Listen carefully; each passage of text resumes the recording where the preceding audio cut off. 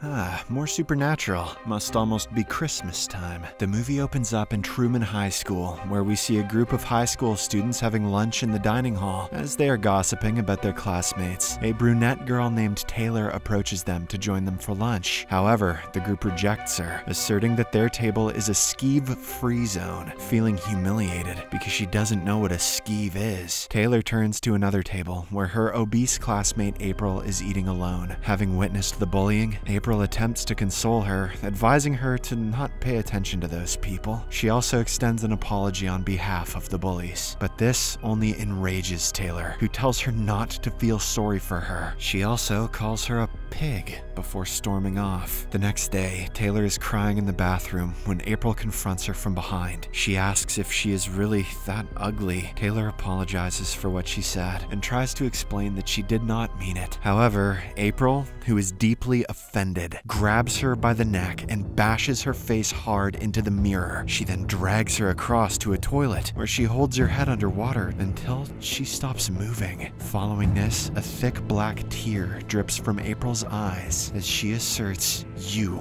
are ugly. Title card.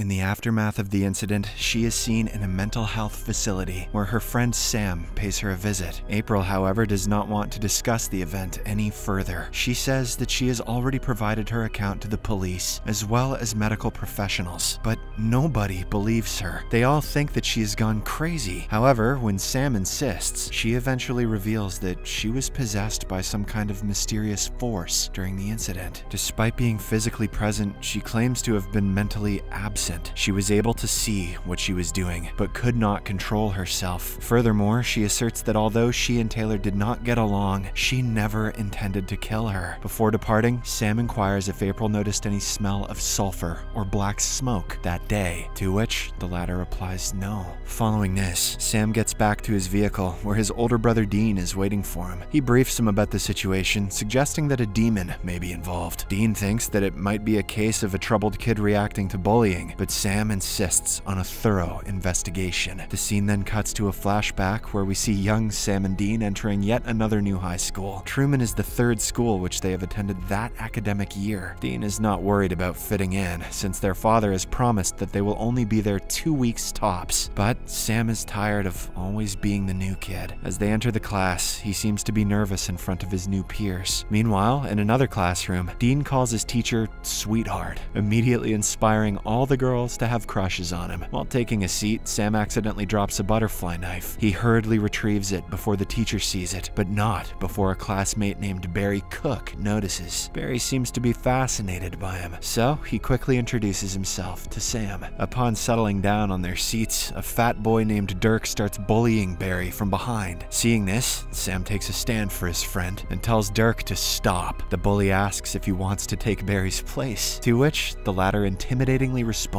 Yeah. Back in the present, Sam and Dean disguise themselves in order to enter Truman High School for their secret investigation. Sam poses as a janitor, while Dean plays the part of the substitute gym teacher. As he prepares the students to play dodgeball, Sam comes in with a report no sulfur, which means no demonic activity. Dean. In the meantime, in a cooking class, a bully student, as usual, tells his nerd partner that he needs to copy his homework again. But this time, the nerdy kid responds with an unsettling gaze and an evil smile. Not long after, he grabs the bully's hand and shoves it into a running food processor, grinding it brutally. The grim sight freaks out the entire class, causing the students to run away. Just then, Sam rushes into the scene, only to discover the nerdy kid has collapsed. Upon closer examination, he sees a black, thick liquid leaking out from the attacker's ear. This makes Sam realize that they are dealing with some kind of ghost possession, which is rare but not unheard of. Later on, Dean digs up all the school files for information. He learns that the only death incident on the school grounds was the case of a self kill back in 1998. Here, it is revealed that the one who committed the unthinkable was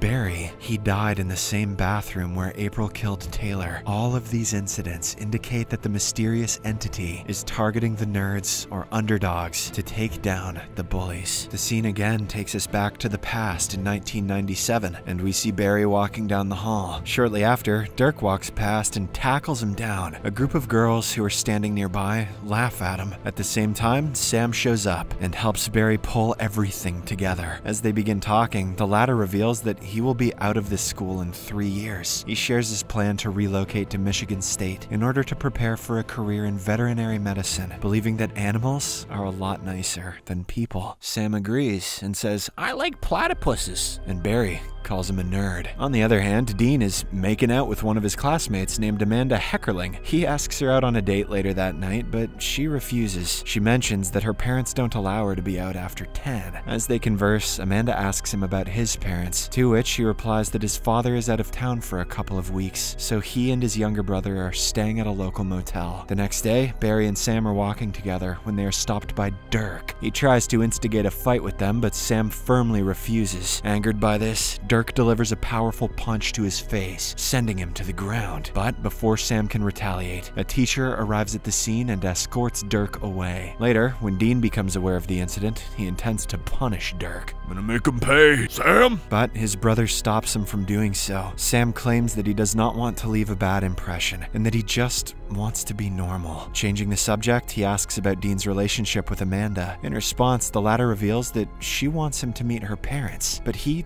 does not want to. Afterwards, Sam is summoned by the English teacher, Mr. Wyatt, in order to discuss an essay assignment. He tells him that the essay was supposed to be non-fiction, unlike what Sam wrote. Despite this, he praises his writing skills and asks if he has thought of pursuing the craft. However, Sam says he can't, mentioning his obligation to the family business. Hearing this, Mr. Wyatt asks what he really wants to do. When the boy remains silent, he goes on to say that he was supposed to be a surgeon, just like his dad, but that wasn't him. As a result, he advises Sam to live the life he wants to live. In the present, the brothers salt and burn Barry's remains. Once back in the car, Sam feels guilty, as he believes that he could have helped Barry if their father let them stay a little while longer. Dean then tries to console him, pointing out that there was nothing he could have done. According to him, Barry was already on anti-anxiety meds, as his parents were splitting and the school was hell. Due to all of this, he just wanted to get out of his problematic life. Just then, Sam remembers the conversation he had with Mr. Wyatt in the past, so he decides to pay a visit to the teacher. Upon arriving at Truman High School, he walks down the hallway in search of Mr. Wyatt when he is suddenly stopped by a girl. She asks him for directions, after which she addresses him by his name. This surprises Sam, but before he can comprehend the situation, the girl suddenly stabs him in the chest with a pen. In a swift act of defense, Sam fills the girl's mouth with salt, expelling the ghost from her body. If she wasn't a ghost, that would have been awkward. Following this, he retreats to Dean, who then hands him some whiskey, asking him to apply it to his wounds. Dean then goes through some files and discovers a commonality. All the possessed students ride the same school bus, which is driven by Dirk's father. The duo then goes to check the bus, where they find a new permit that is registered in the name of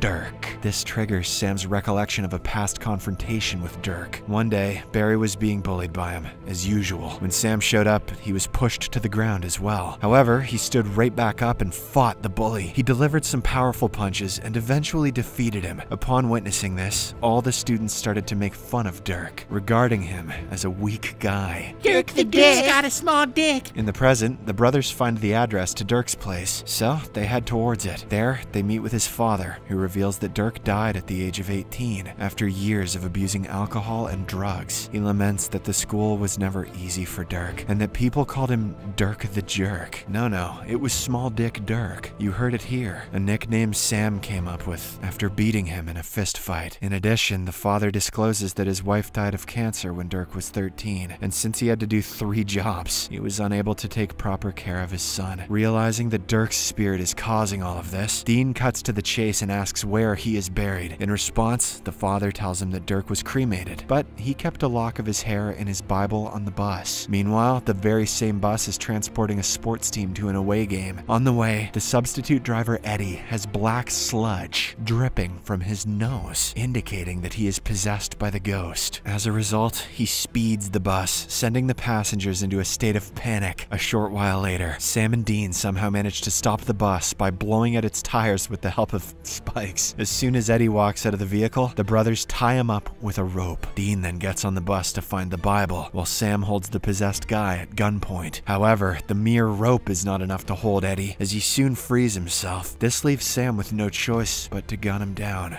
Dean! Shortly after, Dirk's spirit possesses a member of the sports team and comes to attack the brothers again. While Sam tries to fight the possessed individual, Dean manages to locate Dirk's hair in Eddie's pocket. Sam! He immediately sets it ablaze, finally freeing the spirit. In the final scene, Sam finally visits Mr. Wyatt, who has grown very old. He thanks him for his great advice that one should make his or her own choices. The teacher asserts that the only thing that really matters is if one is happy. He then asks if he is happy, but Sam is unable to answer. Subscribe for more videos like this, turn on notifications, and leave a like to help the channel out. Thank you for watching.